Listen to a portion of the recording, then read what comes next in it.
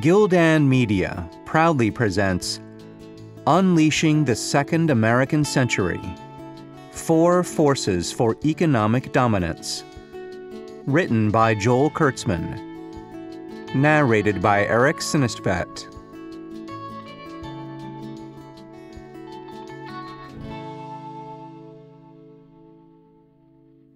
Preface The term the American century was coined by Henry R. Luce, co founder of Time magazine, in the run up to America's involvement in World War II. It was a term meant to reflect America taking its place at the center of the world stage, and not a span of time. But as the first American century wore on, the country became dependent on other nations for its energy especially its oil, and ultimately for finances too. Energy and finance are usually intertwined. The second American century is different from the first. It begins with America headed down the path toward energy independence, and ultimately to becoming an energy exporting nation. It begins with America still leading the world in innovation, an America rich with capital in private hands and with a rapidly growing, highly productive industrial and manufacturing base. It begins with many other powerful, but largely unappreciated attributes as well. What will the second American century be like? If you take America's powerful agricultural, industrial, high tech, biotech, university, research, and military strengths, and graft onto them the energy abundance of, say, Russia or Saudi Arabia, you start to get a picture of what this new era will be like. As energy starts to flow in abundance from our wells, manufacturing will be returning to our shores at an ever increasing pace. As an increased number of manufactured goods begin to be exported from the United States to the rest of the world, money will begin pouring back into the country with that, over the long haul, America's finances will rebound. If you add to what I just described the resources of our two North American Free Trade Agreement, NAFTA partners, Canada and Mexico, it really gets interesting. As George P. Shultz, former Secretary of Labor, Treasury, and State, and distinguished fellow at Stanford University's Hoover Institution, has said, North America with the U.S. in the lead, is the world's center of creativity and innovation. Any measure will do. New companies formed, Nobel Prizes received, R&D spending, attractiveness to high talent from anywhere, patents issued, and numbers of great universities. Add to that the fact that North America is on its way to becoming a net exporter of energy, Shultz said, and the implications for geopolitical developments are vast. North America will have security of supply no matter what happens in the Middle East or elsewhere. The unimaginable wealth of the United States is about to be unleashed again. It happened in the 20th century, particularly in the aftermath of World War II, and it is beginning to happen now. Back then, as our troops came home from a horrendous overseas war, they returned to a country whose national debt was a staggering 120% of gross domestic product, an all time high, as a result of the Great Depression and World War II. Our soldiers returned home in need of jobs, places to live, and education. They returned to a country in need of a new infrastructure of roads, bridges, rail lines, airports, pipelines, and ports. They returned, that is, to a country that is much like America today. So, what happened next? A massive wave of growth for roughly 60 years with only brief interruptions.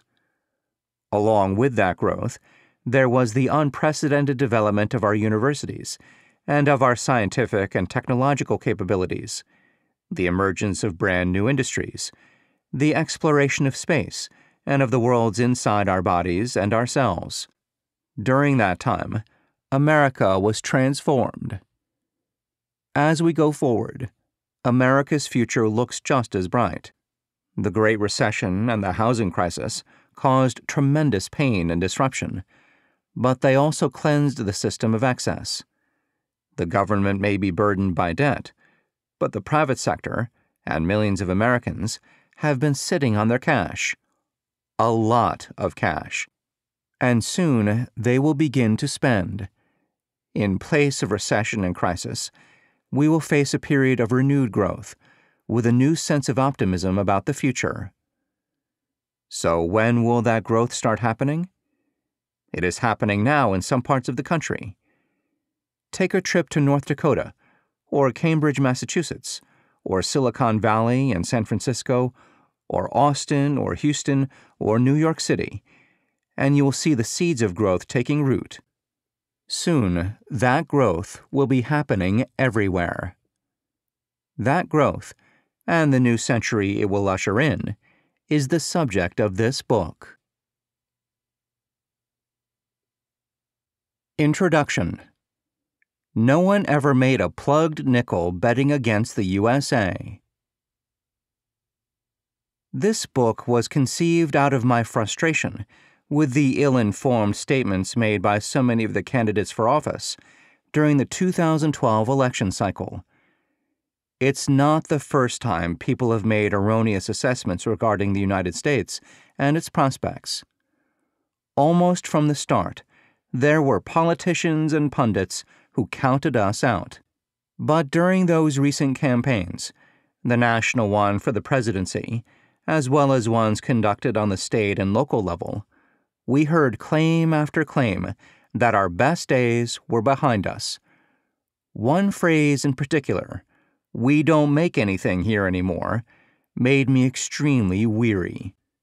Candidates who should have known better, who should have understood more about the American economy and our role in the world, were mindlessly repeating a statement that made people nervous, made them doubt our place in the world, and made them pessimistic about the future. Worse, it just wasn't true. Commentators, pundits, and other so called opinion leaders repeated it as if it were a mantra. China was surpassing us. Eating our lunch was how a lot of them put it, and the United States, and perhaps all of the Western world, was more or less doomed. Then, of course, they added that all of our ills were to be blamed on the people and policies of the other political party. It's difficult to remember another time when so many cheap shots were fired and so many uninformed statements made. While all of this nonsense was taking place, the streets were filled with protesters of all ages in lawn chairs, apparently the preferred method of protest these days.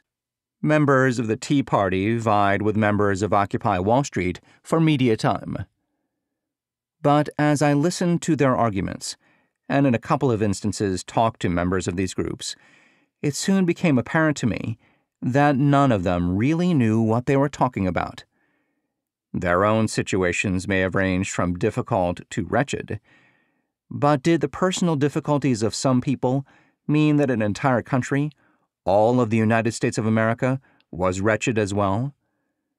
Was the United States really in as bad a shape as these people said it was? From where I sit, as a senior fellow at the Milken Institute, a nonprofit, nonpartisan economic think tank, although the opinions in this book are entirely my own, and from my board level relationship to the Wharton School's SEI Center for Advanced Studies in Management, I have access to an unusual array of data, facts, and other kinds of information, and most importantly, to some of the most brilliant and insightful people in the world. But I wasn't born yesterday, nor did I just start gathering information about the United States and its prospects.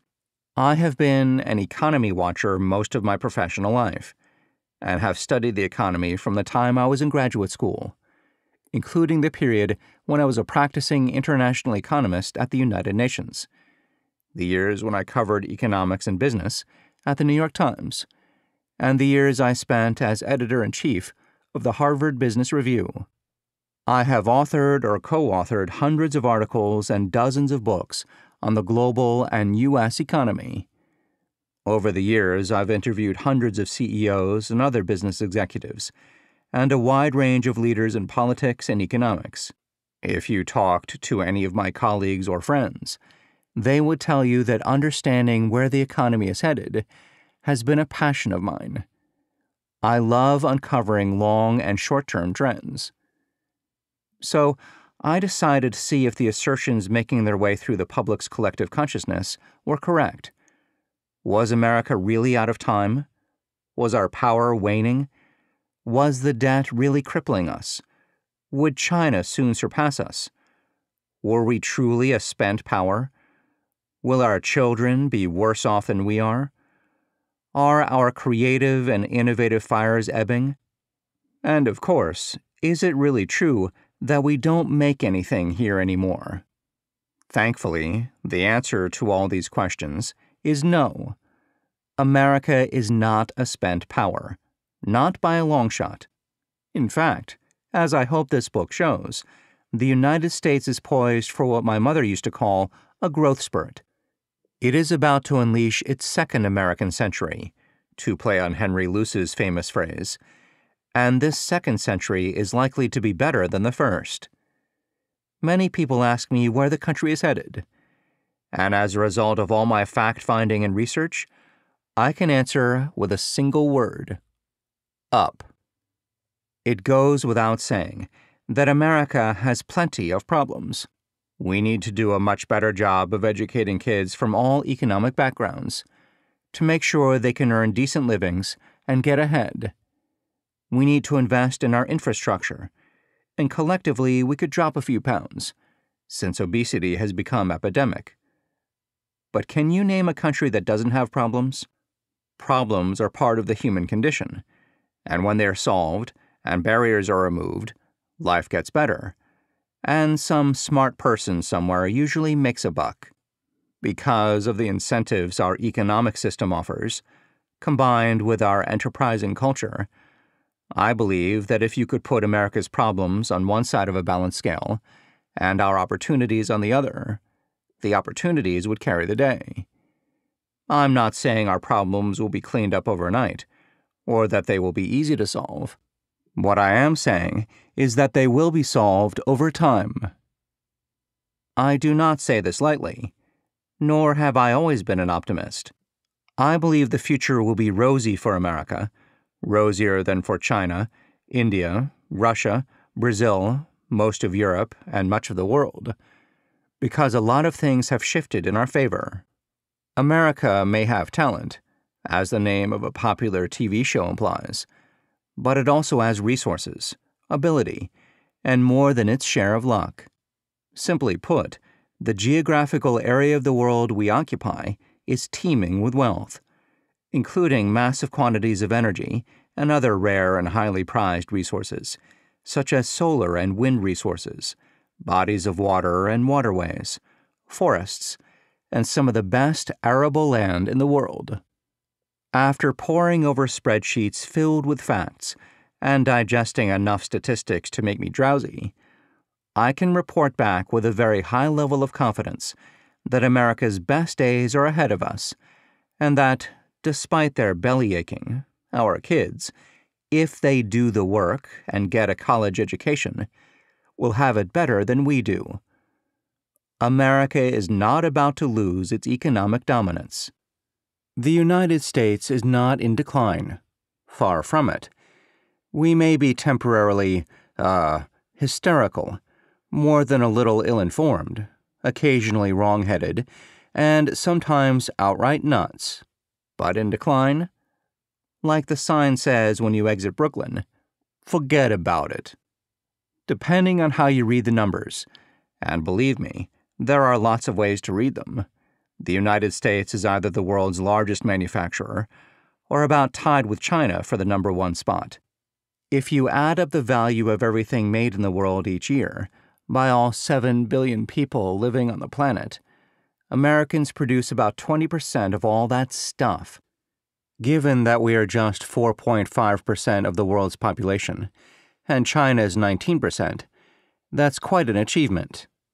America's productivity, measured on a per capita basis, remains the world standard. China, India, Russia, and Brazil may work hard. Well, maybe not Russia, But believe it or not, America works smart. America's top tier factories are second to none. But that's hardly the end of it. American companies manufacture huge quantities of a wide variety of products in other countries around the world, including China and the rest of Asia, Europe, Latin America, Africa, and Australia. Understanding the numbers behind these facts is tricky, so I'll give you some anecdotal evidence. Cincinnati-based Procter & Gamble manufactures products at more than 50 locations around the world, as well as in the United States back from the dead General Motors, builds Vauxhalls in Britain, Opels in Germany, Holdens in Australia, and Jifengs, Buicks, and Cadillacs in China, and also assembles cars in Brazil, Mexico, and Canada, all in addition to what it makes in the United States. San Jose based Intel manufactures its sophisticated computer chips in Israel, Ireland, China, Malaysia, Vietnam, and, of course, the United States. The list goes on. American companies grew inside the United States, and then they branched out and planted their flags around the world. We make a lot of things here, but we also make a lot there, if there means everywhere. So, why am I bringing this up? Because of the quirky way the statistics are kept. American companies produce 20% of the world's goods in the United States, and perhaps as much as another 15 to 20% of the world's goods outside of our country.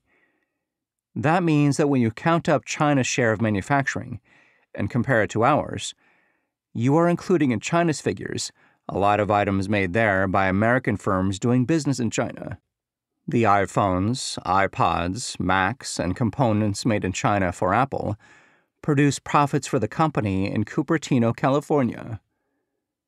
And while the same is true in reverse, since dozens of non US companies make things within our shores, the foreign share of America's manufacturing might is still smaller. That means that while the United States produces 20% of the world's goods within our shores, American companies collectively produce somewhere between 30 and 40% of everything produced in the world.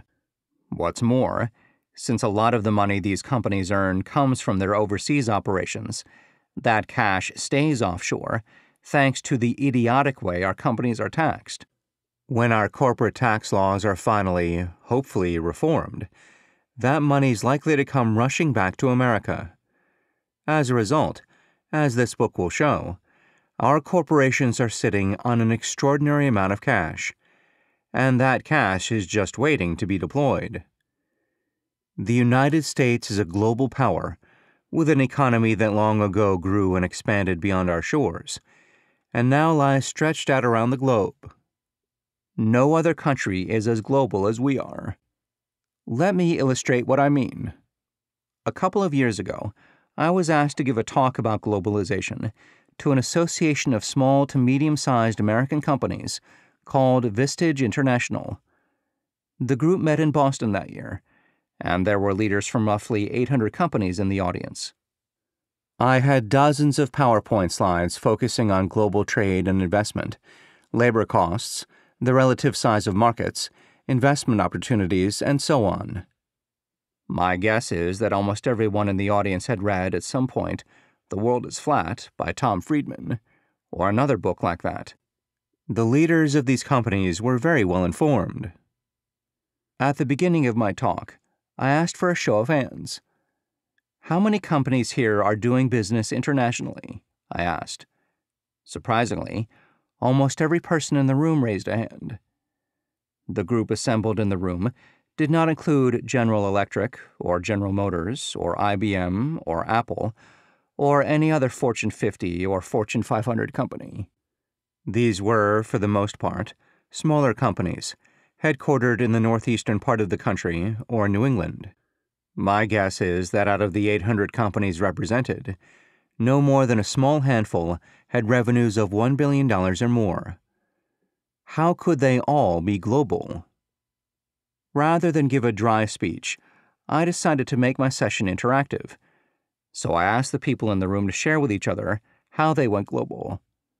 The answer was simple They read that there were opportunities around the world that they were not taking advantage of, and they went after them. Mostly, their main tool was the internet. They used it to find partners, distributors, suppliers, and investors. Members of the group volunteered their stories. A small industrial valve maker in Rhode Island distributed its products in Europe through a German valve maker that it found surfing the web. Europe wasn't this company's biggest market. The United States and Canada were. But its European sales were growing, despite the continent's slowdown. A surgical instrument maker outside of Boston sold its products in Asia through a distributor in Singapore that it also found on the web. Ditto for an automobile parts maker that sourced parts from Mexico. By big company standards, these companies were small potatoes but they illustrate a point. America's commercial culture is not sitting idly by, waiting to be overtaken. Big companies are proactive, and so are little ones. No American business is volunteering to go extinct. They are taking measures to succeed, and they are doing it on their own and without much fanfare. These companies have grit. The fact is, American products and influence are everywhere in people's homes, garages, and offices, in the skies, on the rails, in government buildings, and in their heads, thanks to our attainments in art, entertainment, literature, and music. German, Canadian, and French students may throw rocks at the police during anti globalization demonstrations but they do it with American rock and roll or rap on their iPhones and iPods, listening to their music using Beats headphones made by Dr. Dre. They wear Levi's jeans and Nike running shoes, the perfect shoes to wear when you're protesting against America, while digesting Big Macs and fries, or Crunch Wraps from Taco Bell. When they get home, they do their homework on Dell or Apple computers and take American medicines to make sure their police inflicted bruises do not get infected. They do this while the police, who try to stop the demonstrations, talk on Motorola emergency radios, fly American made helicopters, and, if need be, spray American made pepper and tear gas to clear the gatherings. I'm recounting all these rather bizarre facts for a reason. If American companies made everything in the United States that they sold, all 30 to 40 percent of the world's stuff, the rest of the world would not only be up in arms, it wouldn't have enough money to buy what we make. As it stands, even with many of our manufacturing plants distributed around the globe, depending on how you measure it, the U.S. economy still accounts for between 21 and 23 percent of the world's gross domestic product. GDP that's a pretty good measure of how well our 4.5% of the world's population is doing. Even so, a lot of our manufacturing is coming back to our shores. But don't expect the factories that we built in China or Malaysia or Mexico to come back the same as when they left. When new factories are built, or old ones are refurbished and expanded, they won't be the same labor intensive places that went away. In the intervening years, manufacturing went to college.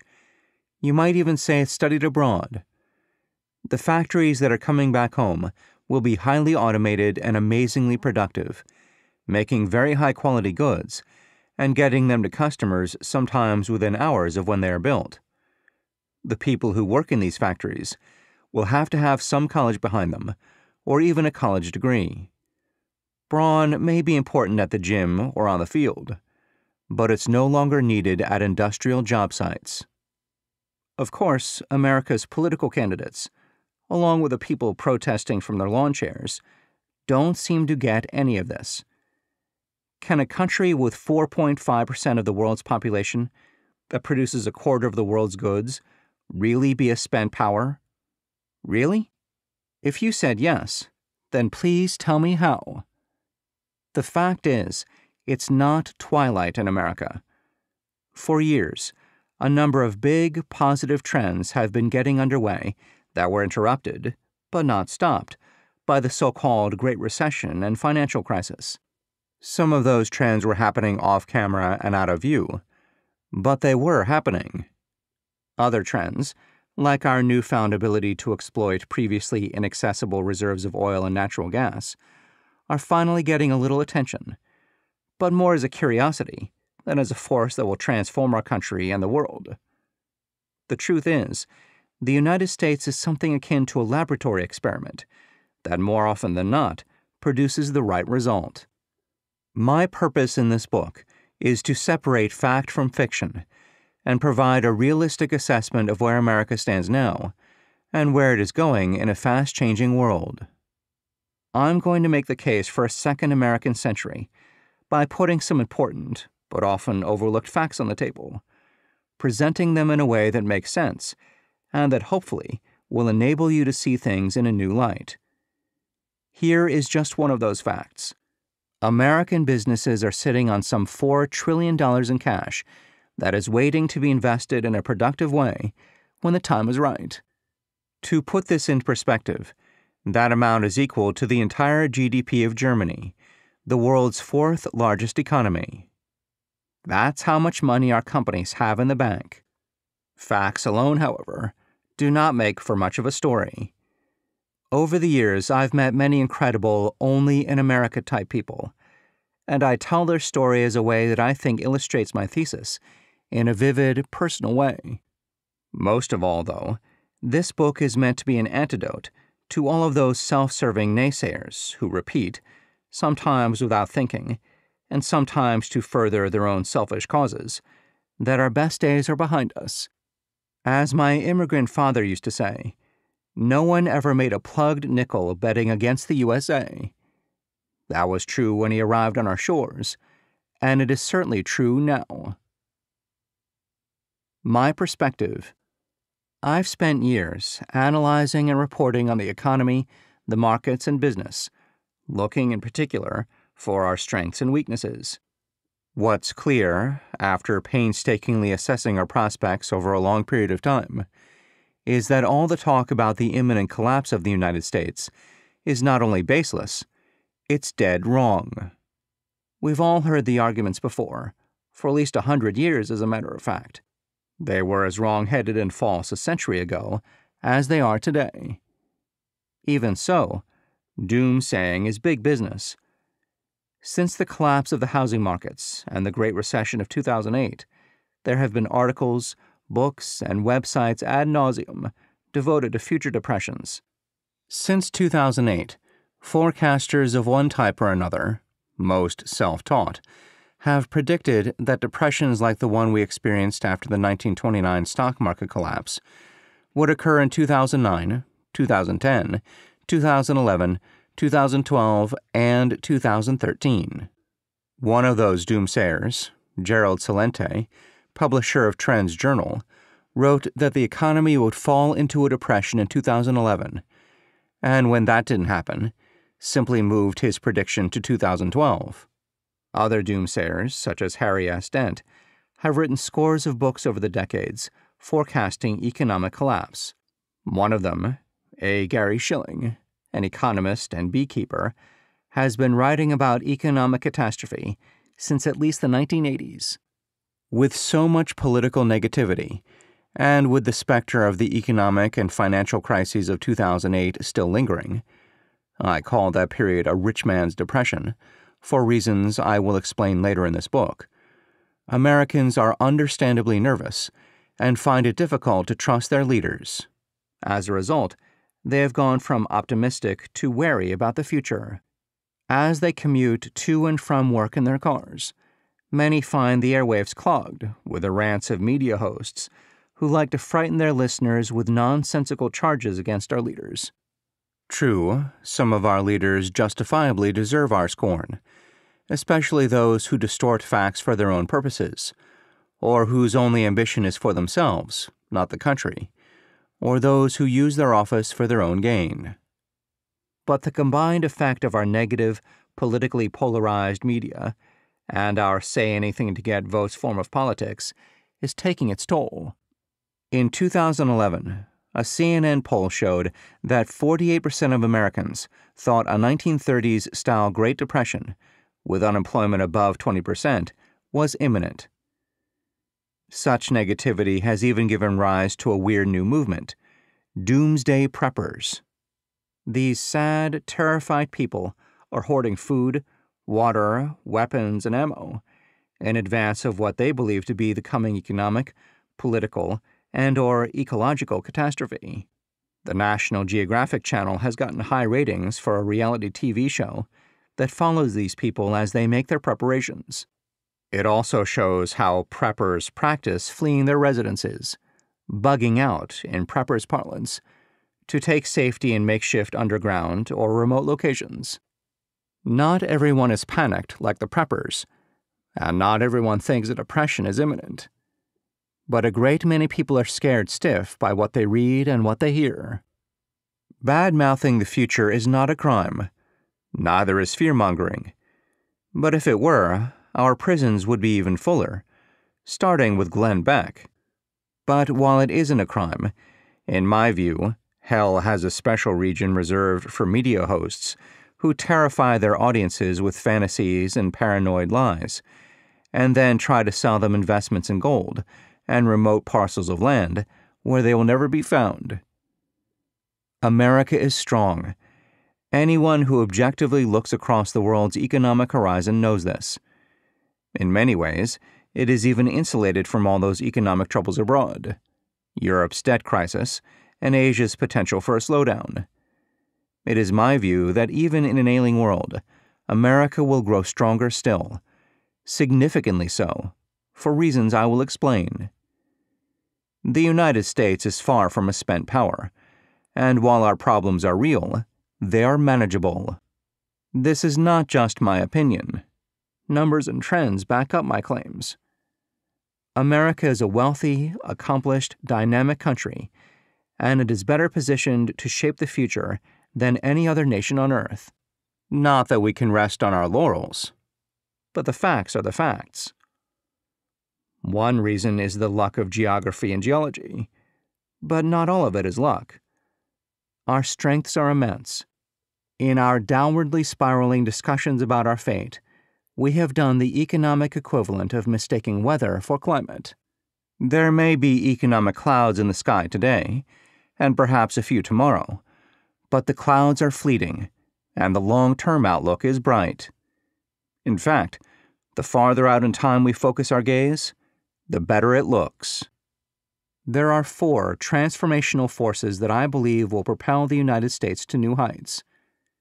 They have been mostly overlooked in the gloomy aftermath of the 2008 financial disaster and in our contentious, overly partisan hair pulling and debates. Other countries have one or two of these forces working in their favor. Only the United States has all four. We have a choice. We can wring our hands, or we can open our eyes. And if we do the latter, we will be pleased with what we see. To build on Henry Luce's famous phrase, we are heading into the second American century, and the wind is at our backs. When people accuse the United States of no longer making anything, it is largely because what we make they don't see, or don't often buy. The United States no longer makes flip flops, or beach balls, or frills. We're not like China. We make very little clothing, not many shoes, and hardly any toys, especially those tainted with arsenic or lead. What we make are electric generators and gas turbines, jetliners and bulldozers, trucks, cranes, military goods, software, and computer products. We make medical devices, pharmaceuticals, and instruments for analyzing your heart, blood, and genes. We make all kinds of radar equipment. America makes fertilizers, pesticides, and plastics some of which it even makes from soybeans and corn. We make fewer vehicles than China, although a lot of what China makes would not be allowed on our roads, but more vehicles than Japan, Germany, and South Korea. We make twice as many tractors as Japan, three times as many as Italy, and almost five times more than China. We are the largest producer of electricity from wind. America produces food and exports more of it than any other nation in the world. The list of what America makes is long. Americans are, at the time of this writing, remotely driving a six wheeled, 2,000 pound truck that is filled with lab equipment, powered by a plutonium power source, and carrying lasers, ovens, science experiments, and imaging devices of all types. And this truck is on the surface of Mars, roughly 350 million miles away. At the same time, rocket entrepreneurs in California, New Mexico, and Florida are sending payloads to the International Space Station orbiting the Earth. These relatively inexpensive rockets are based on new designs. The products I just listed are only a tiny fraction of what America makes. People actually need what America makes, and they need those things rain or shine. In many cases, America is the only place in the world where you can buy certain types of goods and services. But because the average American doesn't buy gas turbines, or firefighting helicopters, or Abrams tanks, or jet fighters, they mindlessly repeat the phrase, We don't make anything here anymore. Let's banish this phrase from daily usage, and especially in the media, because it's simply not true. But even more importantly, we're likely to make much more than this in America soon because it is the new best place to locate factories as a result of productivity, cost, access to markets, quality, creativity, and our newly accessible reserves of abundant, cheap, relatively clean energy. Four Forces of Change. Over the years, most of what I wrote about the American economy in books, articles, columns, and blogs, not to mention on Facebook, was about the headwinds we faced. In fact, my late colleague at the New York Times, William Safire, in his on language column in the New York Times Magazine, credited me with coining the term economic headwinds. That's how deeply the concept resonated with me. In fact, when I left my job as a business editor and columnist at the Times to become editor in chief of the Harvard Business Review, one of my colleagues stood on a desk in the newsroom during my farewell party and read the titles of a few of my books, columns, and articles The Decline and Crash of the American Economy, The Death of Money, Dancing Past the Recession, Eating Our Seed Corn, and so on down the list. The laughter was uproarious as people thought about the gloominess of my outlook. And yet, those books, articles, and columns at the time turned out to be much more true than false. I mention all this because it still feels a little odd for me to write a book of outright optimism, especially when so many other people, people who are supposed to know these things, think we are headed towards some form of economic abyss. And yet, my facts are correct. In my view, the United States a nation so many of us consider favored, though probably for different reasons, is about to be favored again for the following reasons 1. Soaring levels of creativity. No other country in the world, in such a short time, has created so many scientific, technological, industrial, commercial, financial, and artistic innovations. Not only has America's creativity changed science and business, it has changed world culture. 2. Massive new energy reserves.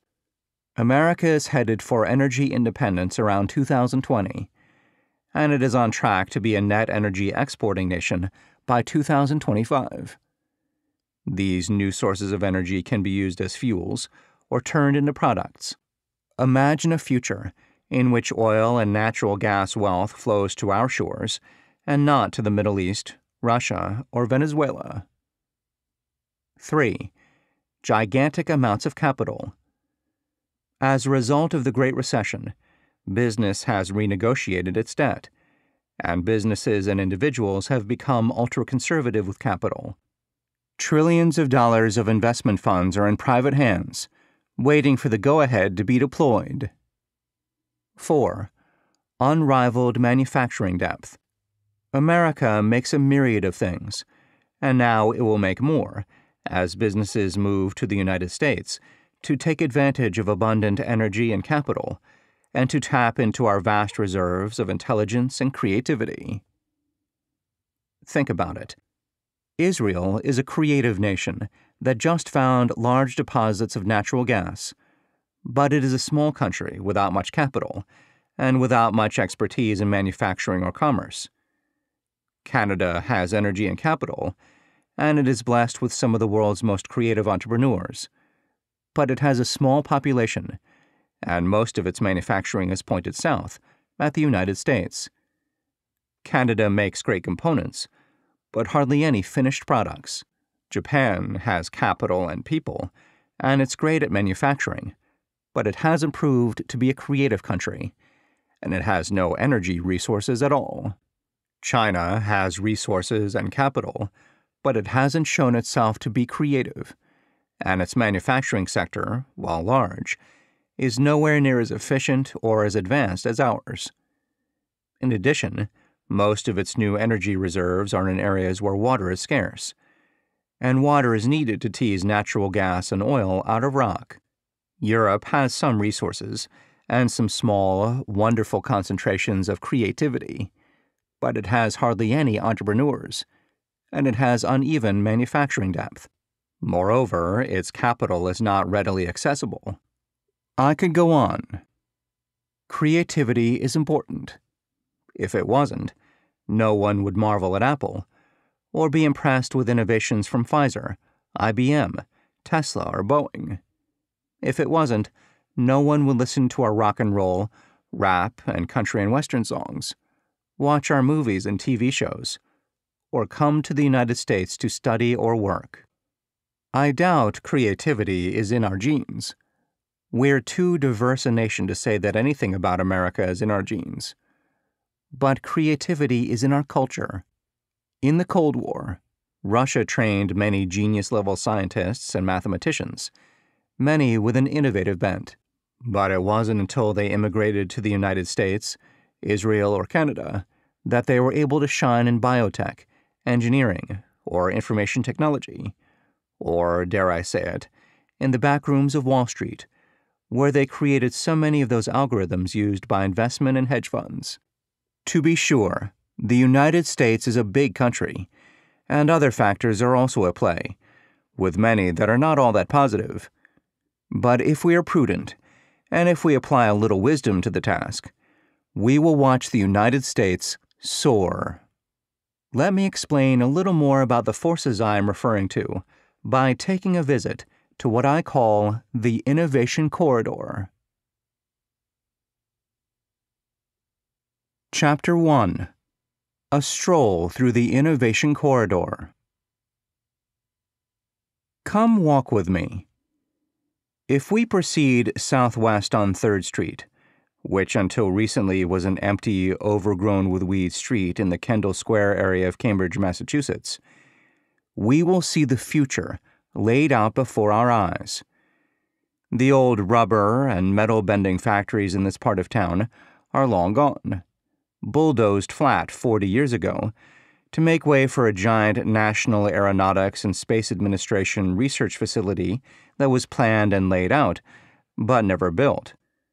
Interest in returning to the moon waned. Budget deficits grew. And let's face it, America has always been a country with a preposterously short attention span. For decades, this crumbling area of Kendall Square was known for its vacant lots, food trucks, and gritty brick warehouses. And yet, it is adjacent to the sprawling campus of the Massachusetts Institute of Technology MIT, with its, how shall I put this, less than gorgeous jumble of geeky, radar domed buildings, is one of the world's greatest, if not the greatest, and most selective research universities. Separating MIT from the empty lots of 3rd Street were rotting plywood fences covered with notices for lost dogs and apartments for rent. You could find neighborhoods that looked like this in any old eastern seaboard city. And then something remarkable happened. This Cambridge neighborhood became home to a new wave of American led innovation that is transforming the world. Many different factors drove this transformation, including advances in digital, robotic, space, and aeronautic technology. But my tour will focus on just one aspect of what is now taking shape the biomedical corridor. That means I will ignore Amazon's newly leased 100,000 square feet of research space, and Google's 40,000 square feet of research space, and Microsoft's, IBM's, and Nokia's research centers. These are the still vibrant remnants of a previous age of American led invention and creativity.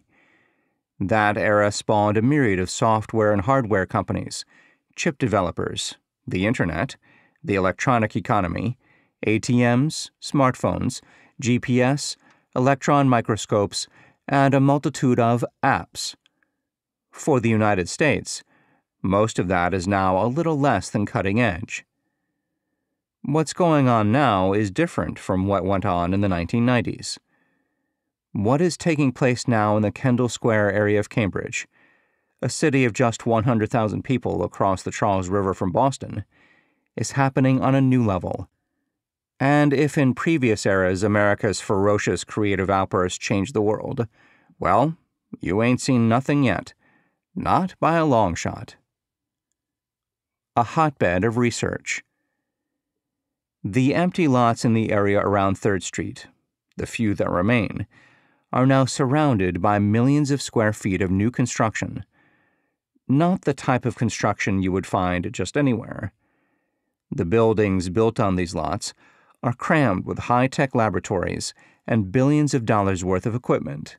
More importantly, these buildings are not staffed by Boston's version of The Office but with some of the world's smartest, most creative, and driven scientists. A new generation of innovators is in charge. So far, they have been largely ignored, as we Americans ignorantly deride ourselves about our fading powers of innovation and our lost prominence in the world. Here's what I mean. If we continue walking in Kendall Square toward the Charles River, we come to the gleaming, environmentally friendly, LEED Platinum certified, glass and steel, 344,000 square foot, 12 story research and corporate headquarters of the Genzyme Corporation. With 12,000 employees, a large number of them scientists, it is one of the biggest and most productive biotechnology firms in the world. Working there are hundreds of MDs and PhDs, almost all of whom have done academic work beyond their lofty degrees. In addition, there are large handfuls of what they call dual degree people, who earned both an MD and a PhD, sometimes simultaneously. These people might not get the kind of airplay that Honey Boo Boo or the Kardashians get, but they are pushing the frontiers of invention. These dual degree folks are the kind of people who add advanced work in engineering, mathematics, chemistry, biology, computer science, and other subjects to their already formidable medical degrees. And while we worry out loud about our neighbors who can't find Kansas on a map, the United States has more dual degree researchers than any other country on Earth. In fact, the United States still leads the world when it comes to the number of qualified, as opposed to people who simply studied a subject, engineers, computer scientists, mathematicians, chemists, and other technical professionals. In 2011, Genzyme was acquired by the world's fourth largest pharmaceutical company, the French firm Sanofi, for what would ultimately be $20 billion. Why such a high price for a company that had less than $5 billion in revenue and a little over $420 million in net income when Sanofi bought it? That's the cost of moving to Cambridge, said Chris Viehbacher, Sanofi's chief executive. My interpretation of Viehbacher's remark, and remarks made by other leaders I talked to and other major pharmaceutical and biotech companies, is that the United States is undeniably ahead of every other country when it comes to research relating to human, animal, and plant biology, and the ability to turn that research into practical products.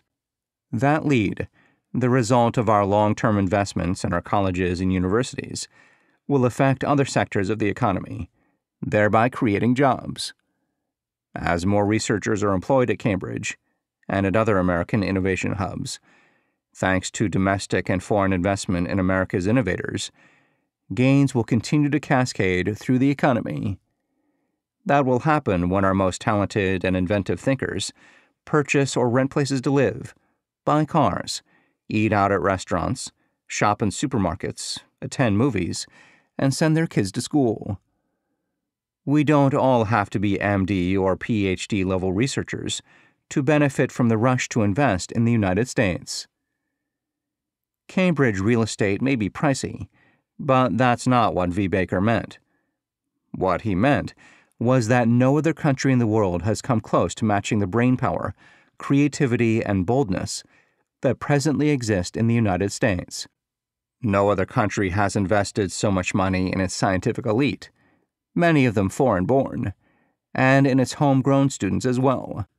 No other country has been as successful in breaking down barriers between academic departments and thereby promoting the kind of multidisciplinary collaboration that produces innovation. The universe and life are not organized by departments the way our universities are. God does not have a separate department of physics, biology, chemistry, and mathematics. The mathematician and inventor R. Buckminster Fuller once told me decades ago. So, if everything works together, why do we separate it into different disciplines when we get to school? In addition, no other country has been as successful as we have in eradicating the boundaries between academic science and business, which explains why so many companies support MIT and other American research universities, and why that's not the case in, say, Europe.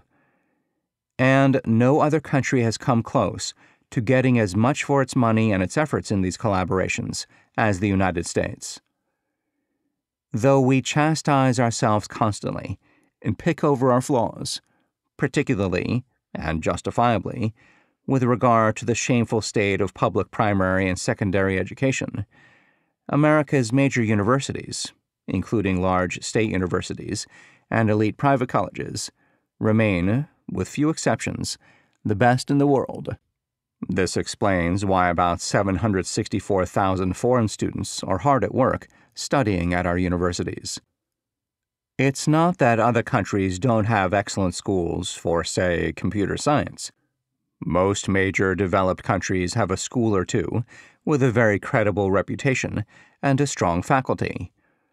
But the claim to fame of American universities is that they pretty much invented, or greatly expanded, the fields in which they teach. Researchers in the United Kingdom may have been early pioneers in the development of computers, jet engines, and biology, but the most advanced work in these fields is taking place in the United States.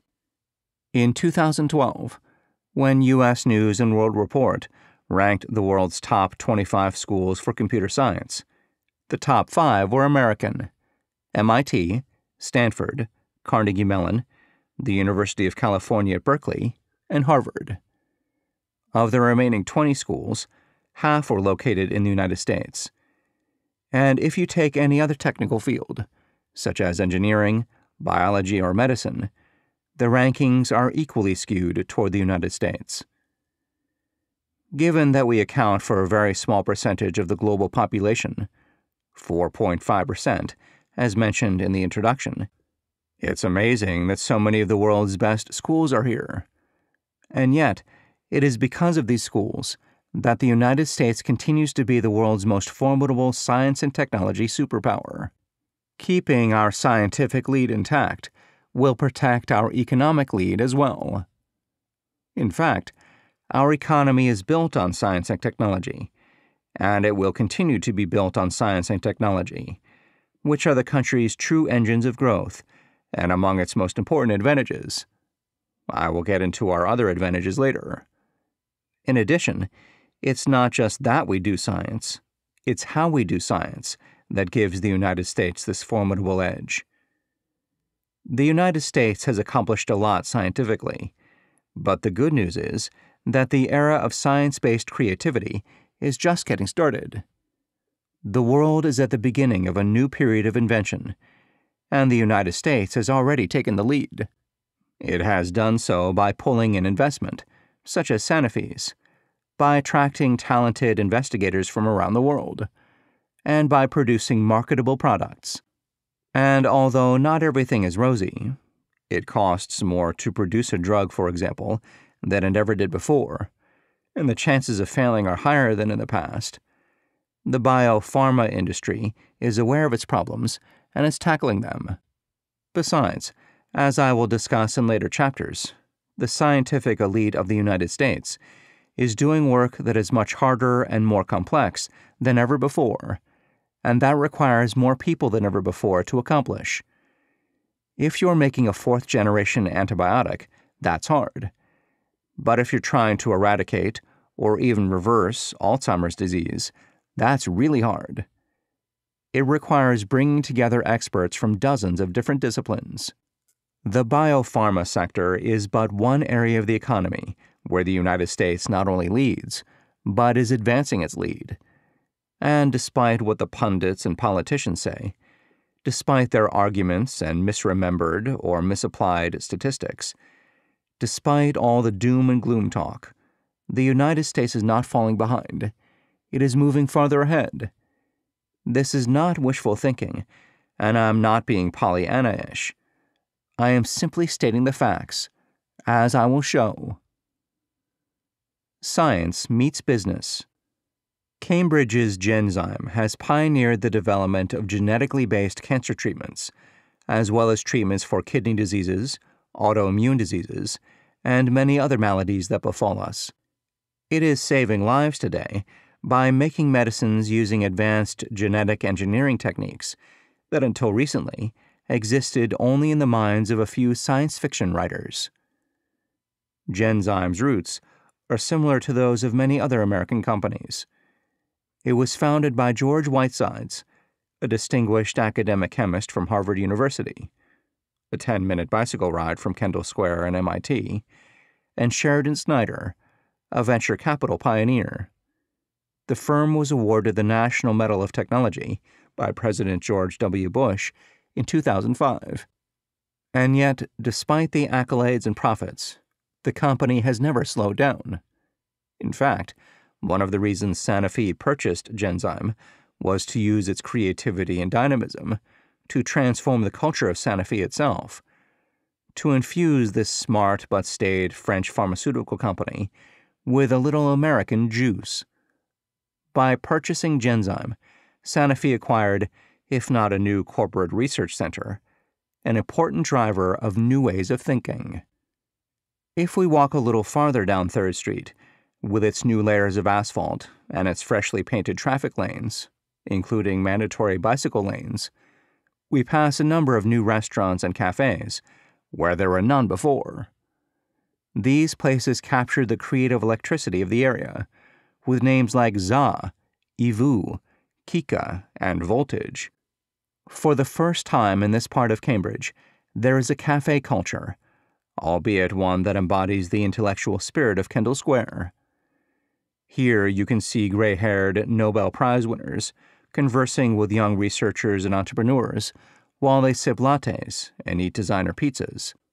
To create a syllogism worthy of tests like the SAT, I am talking about MIT after all, the restaurants on 3rd Street are to the geeks and nerds of Kendall Square what the Ivy, the Grill on the Alley, and Craft are to the sharks of Hollywood, and what Le Deux Magots, Le Dôme, and the Café Montmartre were to the writers and artists of Paris. These are places where a lot of things get done.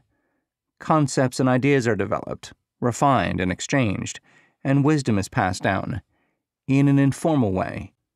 Sipping double espressos with your mentor, or downing a few craft beers with a colleague, is how a great deal of knowledge is transferred.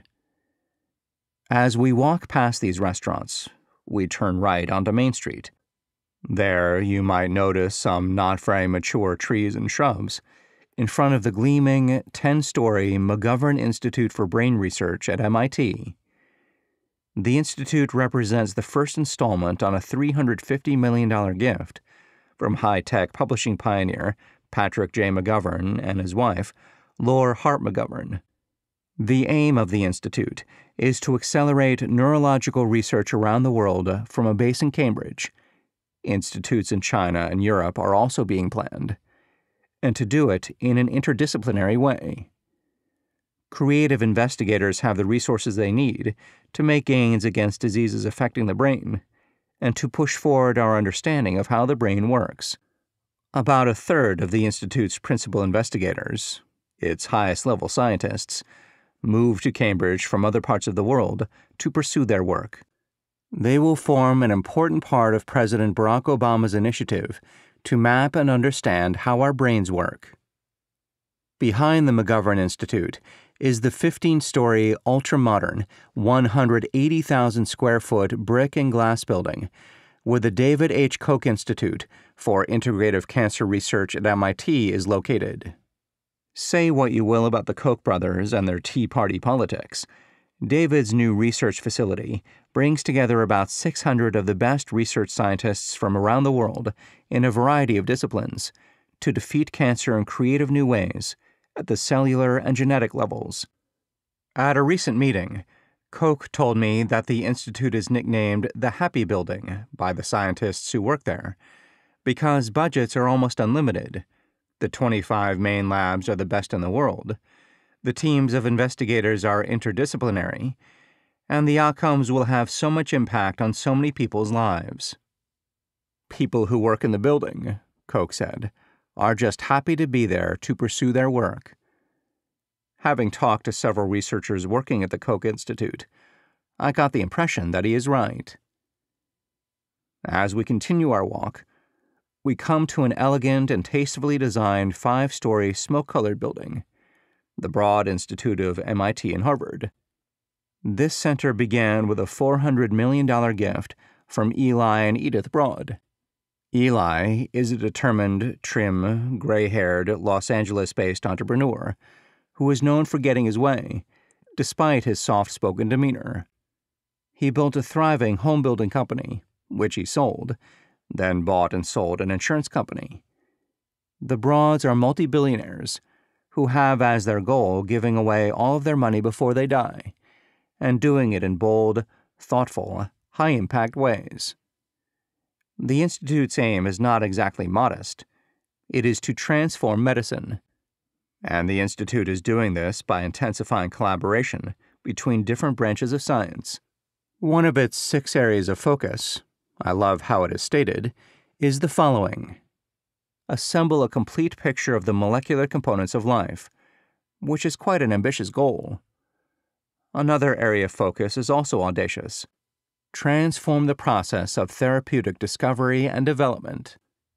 Because creativity is central to the Institute's efforts, the Broads have insisted that, in addition to its team of scientists, a full time artist be in residence at the Institute. What's the role of an artist at a scientific institute like this one? It's to provide an example for the others who work there, to remind them that creativity takes many forms, pursues many paths, and perhaps most importantly, is open to new ideas and influences. But an even bigger thought is this true creativity, whether in science or the arts, means having the courage to take risks. As an inspiration, another broad philanthropic effort, the Broad Art Foundation, has one of the best art collections in the world, which it lends to museums and art institutes. The Broad Institute partners with Harvard's five affiliated hospitals and with other hospitals and research centers around the country. Under its founding director, Eric Lander, a professor of biology at MIT, it is at the forefront of the drive to develop precision medicine, where every person's treatment will be unique, based on their own DNA. Thanks to the National Institutes of Health, based in Bethesda, Maryland, and other funders, researchers at universities around the country, with a large group in Kendall Square, are pushing science in the same direction. And they are getting results. In 2003, when the Human Genome Project was completed, it took 13 years and $3 billion to produce a map of a person's full complement of DNA. Today, a similar analysis takes hours, and DNA sequencing is rapidly coming down in price. Two new companies, GnuBIO in Cambridge and Ion Torrent Systems in Connecticut, are in the process of introducing machines that can sequence a person's DNA for about $1,000. Not only that, but GnuBIO's machine is small enough to fit on a desktop. A far cry from the vast and elaborate laboratory resources required to sequence genes in 2003. Ion Torrent and GnuBIO illustrate just how powerful this new wave of invention will be. Whereas Moore's Law dictates that silicon chips double their computing power every 18 months, today's gains in the biosciences exceed that pace. That's why the cost of sequencing a person's genome has gone from $3 billion to $1,000 and from 13 years to hours. It's also the reason why the Broad Institute's success in attaining its goals, assembling a complete picture of the molecular components of life, and transforming the process of therapeutic discovery and development, could soon be at hand. Think about the power of those goals. If the underlying molecular biology of life is fully understood, and the treatment model shifts accordingly, not only will many, or even most diseases, finally be understood, they will succumb to treatment. At that point, doctors wielding tricorders, like the one used to diagnose and treat diseases by the character Bones in the original Star Trek, might become a reality. In the new spirit of invention, the San Diego based $20 billion telecommunications company Qualcomm is offering a $10 million prize to the first researcher to develop one. The competition envisions an instrument like a tricorder that would be capable of capturing key health metrics and diagnosing a set of 15 diseases. If we continue walking past the Koch and Broad Institutes, we come to the Ragon Institute, a collaboration between MIT, Harvard, and Massachusetts General Hospital, one of the five hospitals affiliated with Harvard, where investigators are working day and night to create an AIDS vaccine. Then, if we turn right on Broadway, we will walk by the Whitehead Institute for Biomedical Research, which collaborates closely with the Broad Institute and has conducted breakthrough research on Alzheimer's, Parkinson's, diabetes, and certain cancers. As we walk, we will also pass the Cambridge Innovation Center, which is where dozens of high tech software and biology based startups are housed. These early stage companies operate from tiny offices, most with glass walls. They share conference space and other common areas in an effort to foster collaboration and what they call fast flow innovation. More than a hundred companies have gone from fledgling startup to commercialization at the Cambridge Innovation Center, between them raising a total of $1.7 billion. During a recent visit to the center, I listened to a demo by a would be entrepreneur who was a neuroscientist at one of MIT's many labs. She showed me her new product, a cap that scans your brain and reads your mood. The device is designed to learn a person's likes and dislikes. And though it is not exactly a product designed to save the world, like the ideas coming out of the labs at the Broad Institute, for instance, it is designed to make money. Our market, the inventor said, is advertising agencies and marketers who want to know in an unbiased way if they are reaching customers with their products and messages. A hundred companies may seem like a lot to incubate at once, but it is not as many as MIT has incubated already. Since it was founded a century and a half ago, MIT has produced alumni who have started 25,800 companies, producing a total of $2 trillion in annual revenues, and employing 3.3 million people worldwide in a variety of fields, from aviation to telecommunications computers, and the biosciences. Collectively, these companies, among them Hewlett Packard, Qualcomm, Texas Instruments, Analog Devices, and the Bose Corporation, are making our lives better and the world a more productive place. None of this was happenstance, by the way. It was planned. If you read a paper called Science the Endless Frontier by the late Vannevar Bush, a professor at MIT who headed the Office of Scientific Research and Development during World War II, you get an inkling of just how important science was viewed as being. It was seen as an engine of economic growth and overall prosperity, as well as a key component of national defense. During World War II, Bush, a tall, lean man, who was the son of a Unitarian minister, was one of the few people who reported directly to President Franklin D. Roosevelt, a good indicator of how important science was to Roosevelt. Not only did his office oversee the Manhattan Project, but it also promoted medical research. We hope you enjoyed this preview. To continue listening to this audiobook on Google Play Books, use the link in the video description.